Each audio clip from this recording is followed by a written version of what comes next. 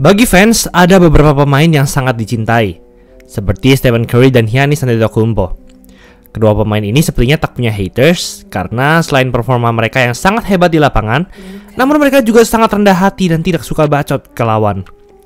Tapi di sisi lain pasti ada yang kebalikan 180 derajat dari Giannis dan Curry, yaitu pemain yang sangat dibenci oleh para fans.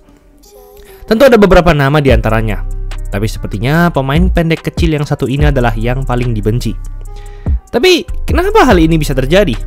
Apa alasan dibaliknya? Sebelum lanjut, jangan lupa like dan subscribe ya. Simak ulasan berikut ini. Namanya adalah Trey Young. Pemain berusia 24 tahun yang hanya bertinggi 185 cm dan berat badan 74 kg ini terbilang kecil dan undersized bagi seorang pemain NBA. Banyak yang mengakui bahwa saat ini Trae Young adalah pemain yang paling dibenci oleh para fans NBA, terutama fans New York Knicks. Hal itu sejalan dengan kebiasaan Trae Young yang sangat suka membacoti para fans NBA, ditambah dengan selebrasi ikoniknya di mana ia mengusap-usap lengannya seperti orang kedinginan. Biasanya ia lakukan setelah membenamkan tembakan di detik-detik akhir yang membuat tim lawan kalah dan para fans lawan sedih, hingga ia diberi julukan Ice Tray. Rayford Trey Young lahir pada 19 September 1998 di Texas, Amerika. Saat SMA, ia membela sekolah Norman North High School. Ia mulai meledak di musim keduanya di SMA, di mana ia membawa SMA-nya juara daerah. Dan di musim ketiganya, ia makin meledak lagi hingga mencatatkan raihan 34,2 points per game, 4,6 rebounds per game, dan 4,2 assist per game. Hal itu mungkin sudah terlihat impresif, di mana ia juga terpilih membela timnas basket USA di ajang FIBA Amerikas U18 pada tahun 2016. Namun raihan tadi masih kalah jauh dengan musim terakhirnya di SMA, di mana ia mencatatkan 42,6 points per game, 5,8 rebounds per game dan 4,1 assist per game. Dengan persentase tembakan 48,9%, terbilang sangat tajam.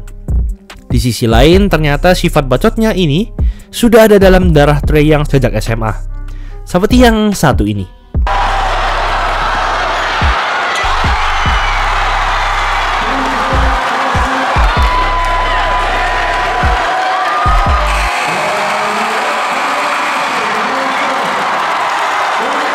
Atau yang satu ini.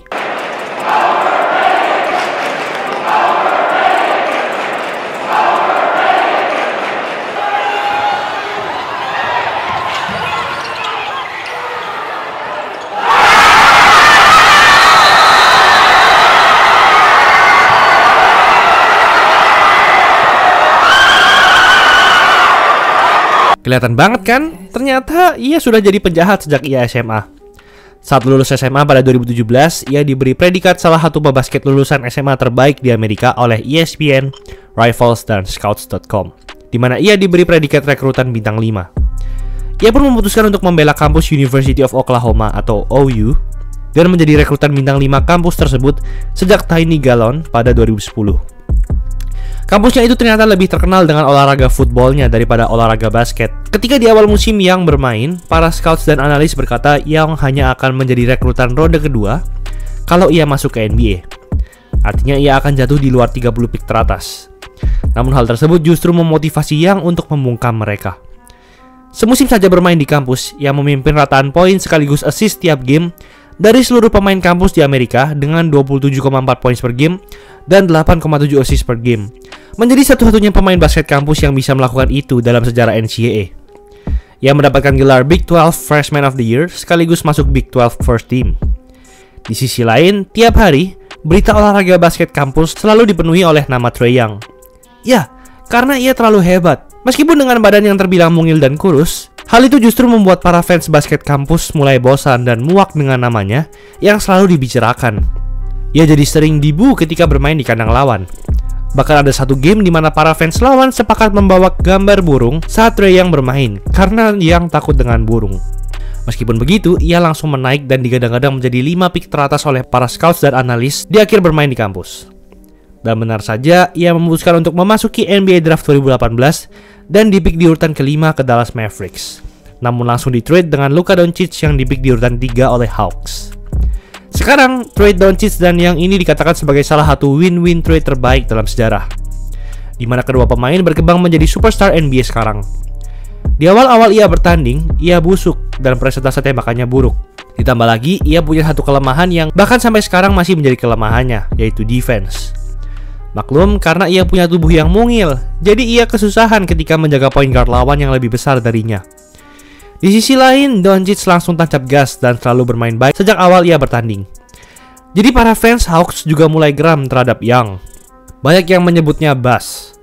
Namun pada akhirnya, Young berhasil beradaptasi dan menaikkan offense-nya. Bahkan sempat mencetak 49 points. Ia masuk All NBA Rookie First Team. Di sisi lain, masih ada saja yang mengatainya sebagai Bas. Karena ia tak berhasil membawa Hawks melaju ke playoff di mana Hawks hanya di peringkat 12 wilayah timur. Musim kedua, yang berkembang menjadi superstar NBA. Sebenarnya Hawks masih sama saja menjadi tim yang buruk di musim keduanya, di mana Hawks berakhir di peringkat 14 wilayah timur. Namun rataan poin tiap gamenya lah yang sangat memukau, dengan 29,6 poin per game, tertinggi dalam karirnya sampai sekarang, sekaligus rataan assist yang sangat tinggi juga di angka 9,3 assist per game. Hal itu membuatnya menjadi starting five All-Star 2020. Namun ia punya satu kebiasaan lain yang membuatnya makin dibenci lagi, yaitu memancing foul dari lawan atau foul baiting. Jadi ia sengaja melompat ke belakang atau ke arah lawan saat drive ke dalam, supaya ia diberi free throw. Mirip seperti yang dilakukan James Harden. Untungnya peraturan ini sudah diubah memasuki musim 2021-2022, jadi yang sudah tak bisa melakukan ini lagi. Dan di musim ketiganya lah adalah musim di mana Yang menjadi penjahat terbesar di NBA. Musim 2020-2021, justru yang tidak terpilih All-Star. Padahal ia membawa Hawks finish di peringkat 5 wilayah timur dan yang pertama kali bermain di playoff dalam karirnya. Hawks bertemu Knicks di ronde pertama. Buat kalian yang belum tahu, Knicks adalah salah satu tim NBA dengan pasar terbesar dan terkenal punya fans yang dalam tanda kutip anarkis. Di sisi lain, playoff itu adalah penampilan pertama Knicks di playoff sejak 2013. Jadi sudah 8 tahun Knicks tak masuk playoff sehingga fans akan sangat bersemangat dan makin anarkis lagi.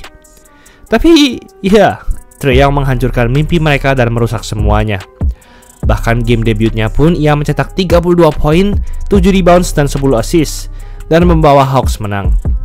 Namun yang dilakukannya saat detik-detik akhir game satulah yang membuatnya sangat dibenci fans Knicks. Back out to Young, Nilakina guarding him. Seven seconds remaining. Now to take away the right hand. Young looks to ah. drive. Young goes inside. The floater. It's good. With nine tenths of a second remaining in the Knicks call time. Got to take away the right hand. Trey Young with 30 turns and did not get it off in time. And that will end it. A heartbreaker here in game one as the Knicks. Yap, ia melakukannya lagi seperti yang ia lakukan di SMA. Tapi kali ini jauh ke lebih banyak orang, terlebih ke fans Knicks. Sejak saat ini, fans pun makin anarkis. Salah satunya meneriakan ini. Knicks still have two. Knicks no more fouls to give. It's a 9-0 New York run to lead by 9. Bahkan ada fans yang meludahi Trey yang di tengah bermain. Dan di game 5, Hawks sudah memimpin 3-1 dan hanya perlu satu kemenangan lagi untuk melaju ke ronde selanjutnya. Dan Yang pun melakukan ini di depan fans Knicks. The screen.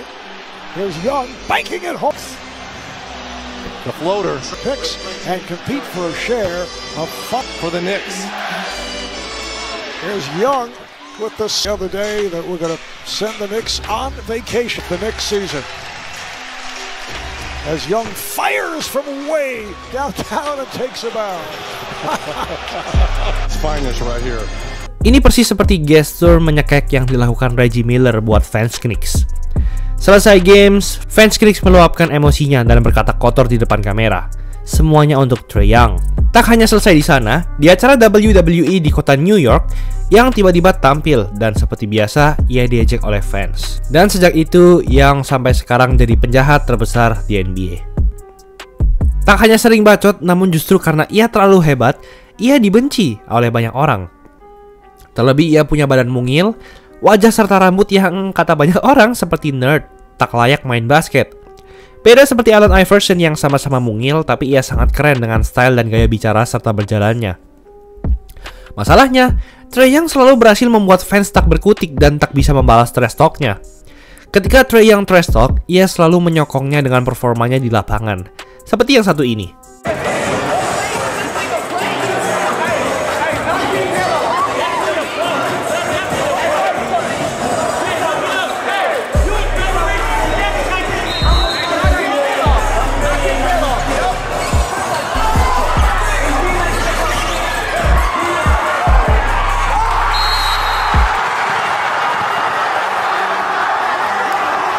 Jadi fans lawan tak bisa membalasnya.